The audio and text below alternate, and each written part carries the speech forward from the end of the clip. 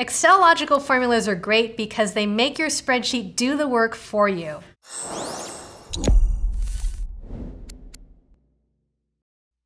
Logical formulas are if statements. You're basically making Excel look at a data value and react to what's in there. It's like saying, if you see this number, do this, otherwise do that. And I'll show you how this works.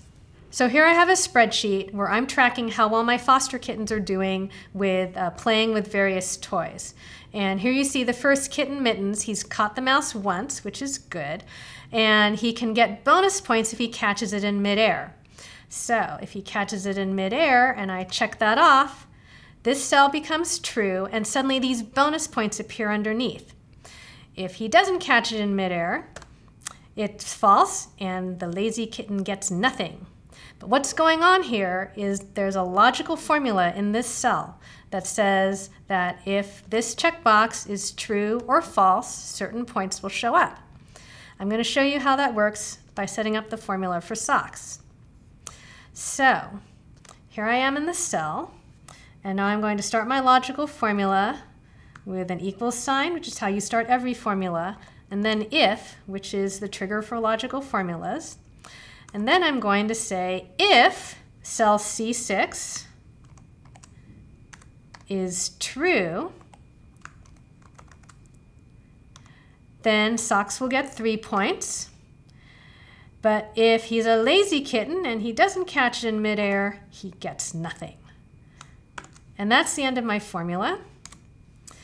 And now you can see it working in this cell. He catches it in midair, three points. Lazy ass kitten, no points. All because of this logical formula. Logical formulas don't just spit out numbers. You can also program them to spit out words. And I've set up another version of this spreadsheet where, depending on how many mice my kittens catch, they could be a good kitty or a lazy kitty. So look what happens with Mittens. He's only caught two mice. So he's a lazy kitty because I've set up a formula that says if he catches fewer than three, that's what he is. But if I change this number to four, suddenly he's a good kitty.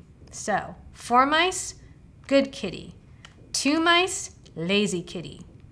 Now we're going to set up the same formula for socks. First we put in the equal sign to start the formula and then if to start my if statement. Parentheses, cell C4, which is their mouse score, is more than three mice. Then they're a good kitty. And you put the words in parentheses so Excel knows what words to put in the spreadsheet. And then if he doesn't make three mice or better, he's a lazy kitty. There's my formula. Now, right now, Socks is a very lazy kitty. He only caught one mouse. But if he suddenly finds some energy and catches six mice, look at that. He's a good kitty. The main thing to remember if you use words in logical formulas is to put quotation marks around them so that Excel doesn't get confused and try to treat it like a number. But you can see from this very simple example how if you have a huge spreadsheet with a zillion numbers, that logical formulas will go through and find things for you and spit out an answer so that you don't have to do it yourself.